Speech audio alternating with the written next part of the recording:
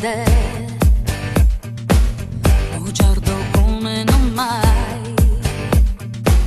come uno squallido attore sporcavi un